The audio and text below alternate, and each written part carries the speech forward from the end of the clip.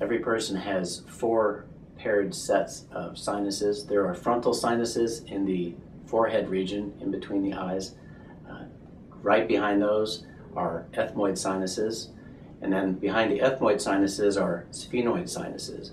And those are all sinuses that are a little tricky to see on an x-ray, in particular the ethmoid and sphenoid sinuses, which are somewhat deeper in the head.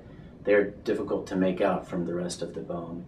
The largest sinuses are behind the cheekbones. Those are called the maxillary sinuses, uh, one on the left and one on the right. And if you have pain in that location, kind of above the teeth, under the eye, or in the frontal areas of the head, uh, a clinician is going to make an assessment as to whether you have possible sinusitis involving those sinuses.